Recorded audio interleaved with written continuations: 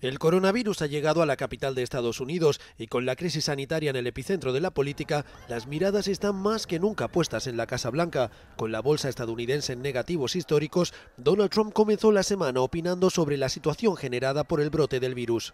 Los medios de noticias falsas y su socio, el Partido Demócrata, están haciendo todo lo posible con su poder semiconservador, que solía ser mayor, para inflamar la situación del coronavirus mucho más de lo que los hechos avalan. El director de salud dice el riesgo es bajo para el estadounidense promedio. La Casa Blanca compartió una intervención televisada de su portavoz.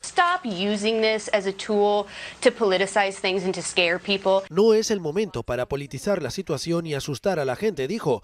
El resto de la jornada, el presidente siguió hablando sobre el desplome de los mercados, culpando de nuevo a los medios y también a Rusia e Irán por controlar el precio del petróleo. En la misma línea se mostró el secretario de Salud, Alex Azar. Uh,